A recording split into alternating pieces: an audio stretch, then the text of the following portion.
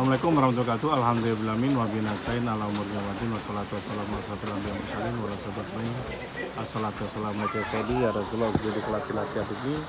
Alhamdulillah la nikmatul Islam wa liman yasasabi di imamimin. Ini ada surat panjang banget tapi ini bagus sob. Pembelajaran bagi Anda Anda harus baca harus dengarkan ini. Assalamualaikum warahmatullahi wabarakatuh. Perkenalkan saya Pak Ridwan Kep, nama saya Haryawan, tinggal di Jakarta Utara. Saat ini sedang dalam posisi terlilit utang di Bank BRI dengan agunan rumah keluarga yang kami tempati atas nama bapak saya. Pinjaman saya adalah kredit modal kerja 350 juta. Saya sebenarnya mintanya Anda minta sebutkan nilai rumahnya itu berapa, luasnya berapa gitu. Kalau mau dijualkan kita bantu untuk jualkan untuk kerjasama usaha dengan seorang teman awalnya pinjamannya adalah membayar bunga saja dengan sudah hampir 2 tahun mungkin KMK ya modal kerja. Saat ini saya masih buta tentang riba. Dari awal kerjasama dengan teman terlihat tidak sangat tidak berkompeten hanya besar omongan.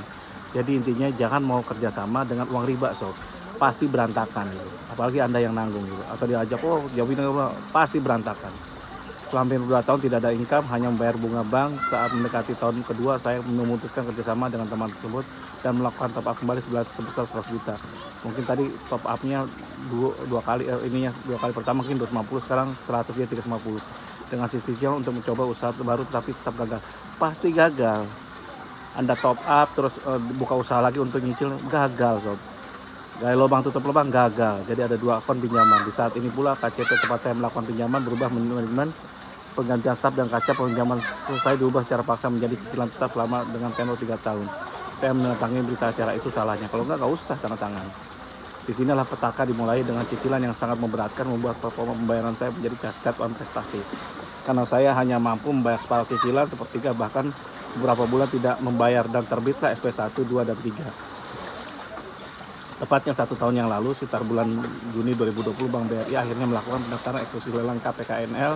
Namun setelah negosiasi akhirnya langsung dibatalkan, dibatalkan dengan syarat saya harus membayar 20% dari pokok pinjaman.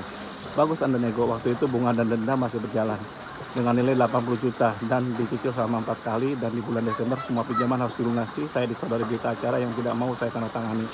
Setelah membayar 20 juta pertama di bulan Juni, saya bertemu dengan beberapa grup anti riba seperti NTR dan eh, relawan anti riba dan mulai mencari semua video artikel yang pihak tentang riba dengan cara penulisan dengan Bank bulan Juli 2020 saya mulai mencoba memperhatikan ilmu yang saya dapat awali dengan melakukan permintaan dokumen pinjaman. Jadi intinya, nih, jadi intinya Anda mengawali gini loh, mengawali semua itu dengan data dulu. Anda harus punya data berapa payment historinya. Payment history adalah sistem pembayaran. Anda juga harus ngecek ke SLK-nya, sistem layanan informasi, informasi kredit atau informasi debitur ya ke OJK itu. Itu dasarnya. Tentu ketiga Anda lihat mintain outstandingnya mereka. Menurut mereka berapa perkiraannya. Nah tadi KMK kan Anda mau ini tuh uh, dipotong bunga doang lah. Berapa yang bunga udah Anda bayarkan gitu. Itu harus Anda cekin semua. Gitu. Nah itu bahan negosiasi dan juga dokumen-dokumennya, akad kredit, perjanjian kredit terus dari awal sampai akhir terus minta SP uh, SKMHT, APHT dan yang lainnya dan, dan sertifikat dilegalisir. Juga kalau memang mau tambahan segala macam-macam, apresial menurut mereka berapa gitu. Kalau mereka melakukan apresial. Biasanya kalau di bawah satu miliar internal apresial gitu. Yang Bang BRI eh, sedikit panik dan bertanya apa tujuan mereka atas dokumen dokumen itu waktu berjalan dan baru di bulan Agustus saya memperoleh dokumen tersebut tapi tidak tidak diapresiasi. Entah kenapa dokumen itu sulit saya peroleh dari bank, saya juga melanjutkan pembayaran cicilan tidak melanjutkan pembayaran cicilan 20 juta yang masih tersisa tiga kali lagi. Sehingga bulan Desember 2020 muncul kembali surat peringatan satu. Saya tetap kooperatif menjawab SP1 tersebut dan surat permohonan SP penghapusan BDO tidak digubris sehingga muncul SP2 dan saya jawab kembali dengan permohonan jual aset atas mandiri secara mandiri dan cicilan semampunya namun tidak digubris juga. Dan akhirnya muncul SP3 dan saya jawab kembali menggabungkan permohonan uh, untuk hapus BDO jual aset secara mandiri dan mencicil 5 juta sampai akhir aset terjual Bang akhirnya memanggil saya dan melakukan negosiasi. Saya diminta mulai membayar 5 juta, namun permohonan-permohonan saya baru mau diajukan ke pimpinan saat ini akhirnya tahun 2020 awal tahun Januari 2021 saya diminta kembali melakukan cicilan 5 juta tanpa kejelasan.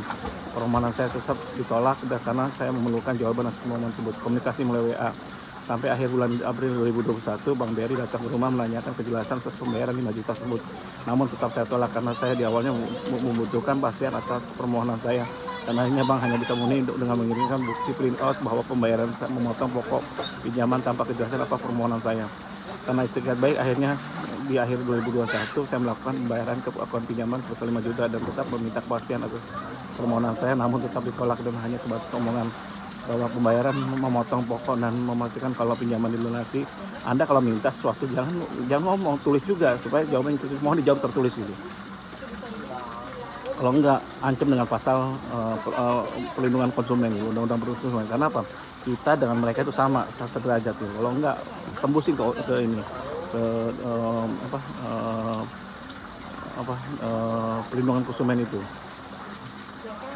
Akhirnya kami berdebat melalui email dan tiba-tiba pihak melakukan ancaman dan juga melakukan kembali kesepakatan awal di tahun 2020 di mana saya harus membayar sisa cicilan 20 juta kali tiga kali pembatalan lelang pertama atau pihak bank akan melakukan pembatalan lelang kembali. Saya membalas email tersebut dan menerangkan kondisi saya yang sulit ini dan hanya bisa mencicil 5 juta sampai aset terjual. Namun tidak direspon uang 5 juta yang saya transfer ke rekening pinjaman tidak didapat oleh bank. Dan semua saya inisiatif untuk menyusul perihal niat baik saya untuk mencicil 5 juta dan menjual aset secara mandiri secara permohonan-permohonan saya seperti penghapus video dan tetap tidak digubris dan hari ini muncul kembali surat eksekusi lelang yang akan dilaksanakan 24 Juni 2021 mohon bimbingnya Cap jika memang kasus saya ini bisa saya bawa ke pengadilan untuk dilakukan tuntutan. Oke. Ini kan panjang urusannya. Anda gabung dulu dengan RSC aja pendampingan. Ada biaya ada tapi untuk admin. Nggak besar nggak gitu kalau Anda pakai pengacara aja minimal 50 jutaan gitu 60 jutaan gitu terus kalau konsultan hukum lebih besar lagi gitu uh, itu hanya untuk admin diadaptasi segala macam-macam. Tapi yang hadapi Anda sendiri gitu yang harus anda lakukan adalah membuat informasi loh, bahwa kita masih kooperatif dan yang lainnya buat informasi. Nanti dibuatkan di contoh informasi ini tanya WA saya 0815575004 kali. Uh, nyimas ya.